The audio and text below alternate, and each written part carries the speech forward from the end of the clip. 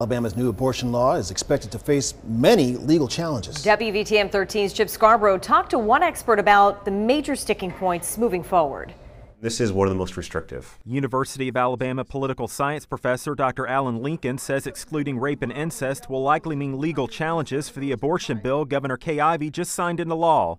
He says the new law can end up being shot down in federal district court before it even has a chance to go before the U.S. Supreme Court. But if it does, because it's such a stark departure from the court's precedent. The court generally doesn't like to violate its own precedent. The precedent being Roe versus Wade, which guarantees every woman the right to an abortion. Linken says the U.S. Supreme Court giving the green light to Alabama's new abortion law would weaken the high court's integrity. It's also, I, I think, the wrong law to challenge it with. Dr. Linken says, of course, people are going to challenge Alabama's new abortion law, but he says the best challenge will come from a doctor actually performing an abortion. Put themselves in legal jeopardy and then challenge the legitimacy or the validity of the bill.